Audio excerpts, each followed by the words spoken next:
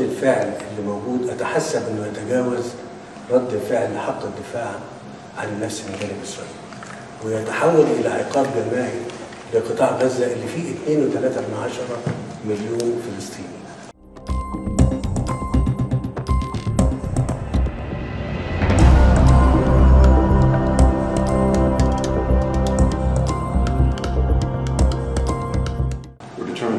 With innocent civilians who suffer primarily as a consequence of what Hamas has done uh, on all sides.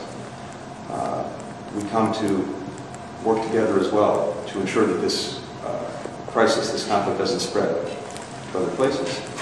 Uh, and we come to think together about a, a way forward uh, for everyone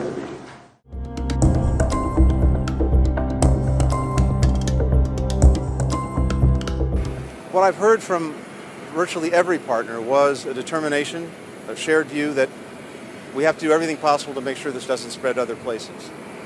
Uh, a shared view uh, to safeguard innocent lives. A shared view to get assistance to Palestinians in Gaza uh, who need it, uh, and um, we're working very much uh, on that.